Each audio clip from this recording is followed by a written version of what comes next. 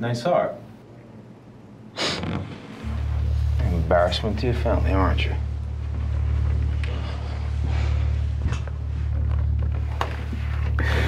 Fuck you, man. Hmm. Yeah, smoke that. You're gonna need it. Time I get through with you.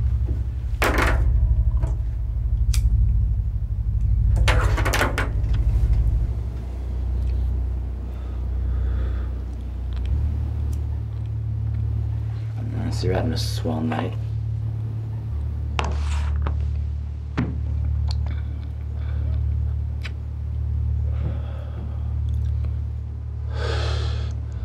It all depends. Were you driving the car? Was I driving the car? Yeah, you know a car? Was I driving the car? The car. The car.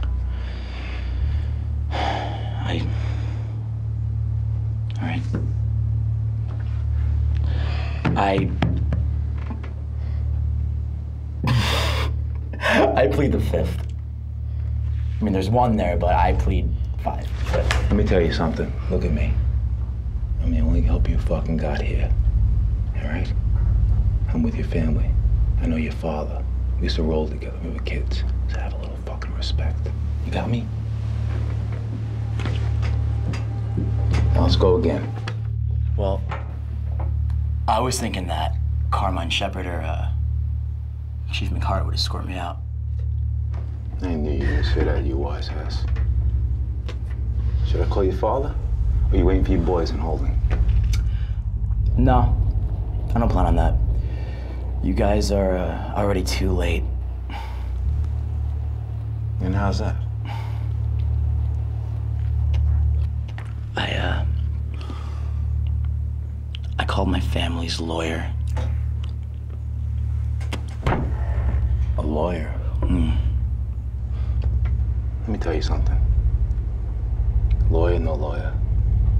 Your family pays me, so I'm your fucking lawyer.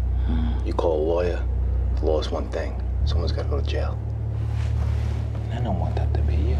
I don't want your pretty face in jail. I gotta protect you. That's why I'm here. Who else you fucking think is here?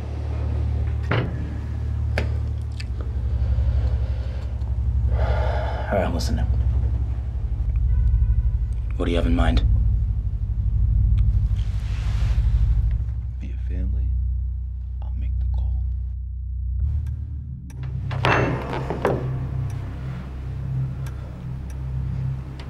My boots? No, Willy Wonka's. I want a lawyer. I think that looks like it's enough right there, don't you think?